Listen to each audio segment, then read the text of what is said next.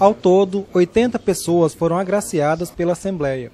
Destaque para os militares da Associação dos Oficiais da Reserva do Exército de Mato Grosso, que atuam junto à comunidade. É um sentimento muito bom e importante de que, de fato, nós estamos, a Associação dos Oficiais R2, conseguindo disseminar o nacionalismo, patriotismo e esse reconhecimento, eu acho que ele fecha um ciclo do ano de 2019. Quem também recebeu a moção foi este general, que coroou aqui no estado os 40 anos de atuação no Exército. É um grande reconhecimento pelo trabalho que eu desenvolvi desde 1980, quando entrei na Escola Preparatória de Cadeiras do Exército. O Exército me reconheceu dando a promoção de, de, de general, né, que é, que é bem difícil, e nesses quatro anos de general eu procurei dar o um melhor. Passei um ano no Centro de Operações no Rio de Janeiro, que é, é, é um estado complicado, e fui abençoado com esses dois anos e meio aqui em Cuiabá. Na esfera civil, a homenagem vem como um incentivo ao esporte e às mulheres. Nega é fisiculturista e acumula prêmios em competições nacionais e internacionais. Um título que, que me deixa muito feliz é o título do campeonato do Arnold Classic, né, que aconteceu em 2018, ano passado.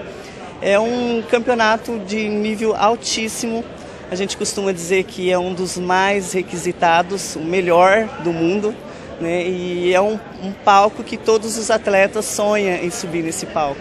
Eles cuidam do corpo e da saúde das pessoas, para ser mais específico, do sorriso. Os profissionais da odontologia também foram lembrados na sessão solene. Nosso sentimento é de profundo agradecimento, profunda gratidão pelo reconhecimento, uma vez que a gente luta tanto pela categoria e receber uma homenagem do poder público, particularmente do deputado Silvio, para a gente é uma grande satisfação. Por meio de iniciativas como essa, a Assembleia promove o reconhecimento a quem dedica a vida ao Estado de Mato Grosso. Por isso, os aplausos.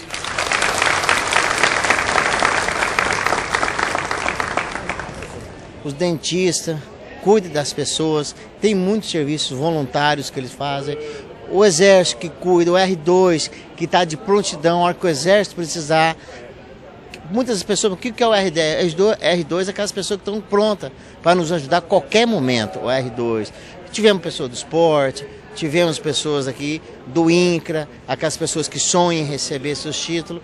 Então, isso é nada mais que é um reconhecimento para a população e que desenvolve esse trabalho no anonimato e não se aparece.